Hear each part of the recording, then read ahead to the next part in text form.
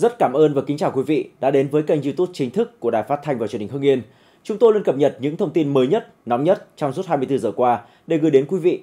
Ngay sau đây là phần nội dung chi tiết. Bên cạnh vai trò người mẫu, doanh nhân, Ngọc Trinh cũng gây chú ý khi thử sức với diễn xuất.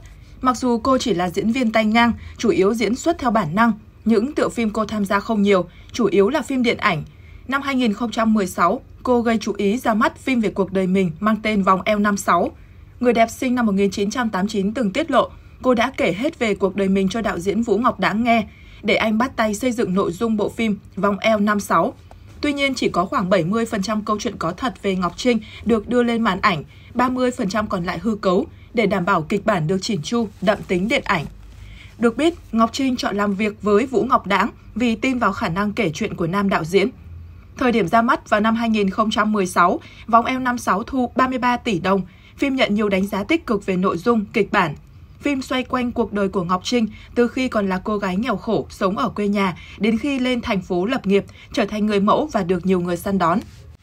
Chia sẻ với truyền thông tại ngày phim công chiếu, Ngọc Trinh nói, lần thứ năm xem lại phim nhưng tôi vẫn khóc vì thấy lại quá khứ cơ cực của mình. Hai cảnh xúc động nhất trong phim là cảnh ba mẹ tôi bị đòi nợ, đánh đập và cảnh ba tức giận đập vỡ chén cơm ngăn không cho chị gái lấy chồng. Nữ diễn viên kỳ vọng, qua tác phẩm này, khán giả sẽ hiểu và có cái nhìn khác về cô.